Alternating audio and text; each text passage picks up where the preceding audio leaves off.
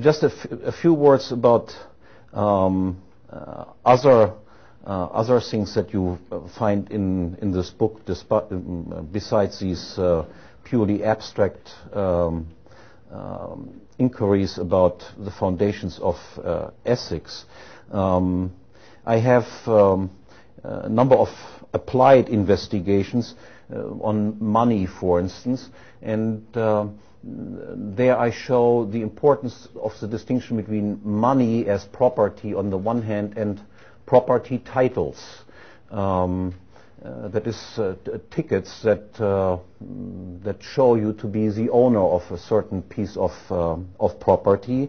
Um, and once you introduce the distinction between money as property and property titles, um, then you come to a correct assessment of uh, uh, the legal quality uh, of fractional reserve reserve banking.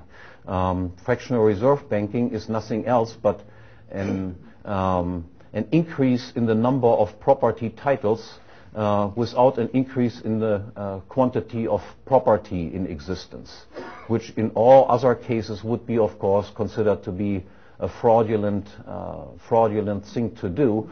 Uh, you increase the number of titles to a car without having additional cars available.